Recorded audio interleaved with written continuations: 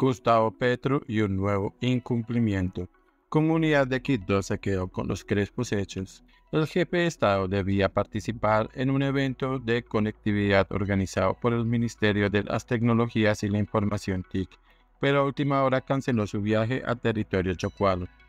El presidente de la República, Gustavo Petro, protagonizó el martes 17 de octubre de 2023 un nuevo incumplimiento de su agenda que dejó inconformes a los habitantes de Quito Chocó.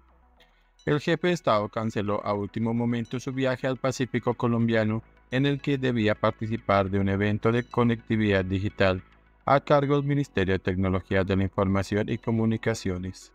Según explicó el jefe de la cartera Mauricio Liscano, el mandatario de los colombianos debió quedarse en Bogotá atendiendo asuntos de relaciones internacionales en un anuncio que se conoció luego de la fuerte polémica que causó con sus publicaciones en su cuenta de X, en las que incluso no descarta romper las relaciones internacionales entre Colombia e Israel, por lo que consideró un irrespeto del país asiático. En primer lugar, excusar al señor presidente de la República que tenía todo el deseo de acompañarnos, pero ustedes saben que estamos en medio de un conflicto entre Palestina e Israel.